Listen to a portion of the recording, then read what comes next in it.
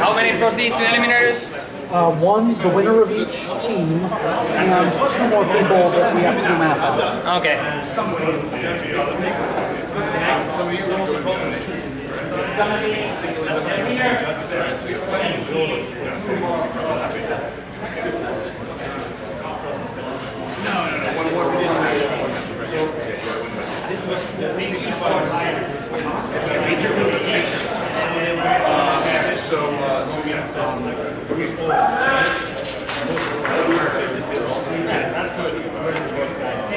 So you just tell them to stay here?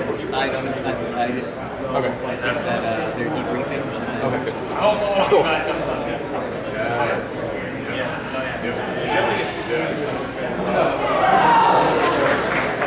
Easy one time. Get back. That makes it safe. And then you usually have that clear. Uh, what's it called?